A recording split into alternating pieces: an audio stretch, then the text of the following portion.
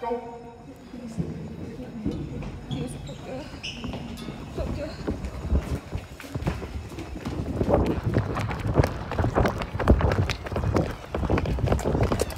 It's pure terror.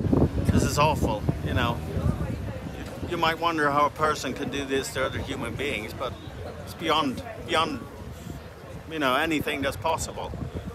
My oldest daughter, who's 18, she she's barely holding it together. My other daughter, she got in the in the stampede that that started when the perpetrator was firing shot everywhere apparently. She got cut in several places as well from people and falling off the chairs. Then everyone came running and we thought, oh maybe they have seen uh, Harry Styles as he's in town.